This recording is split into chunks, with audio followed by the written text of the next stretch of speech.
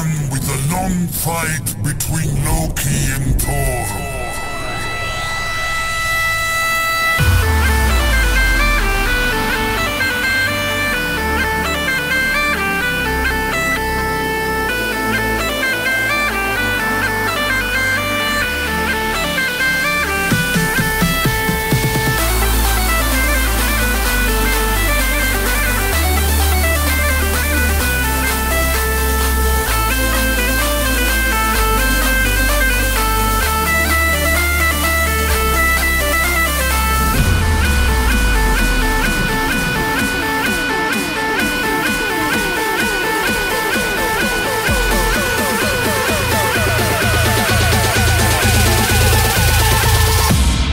Check this out.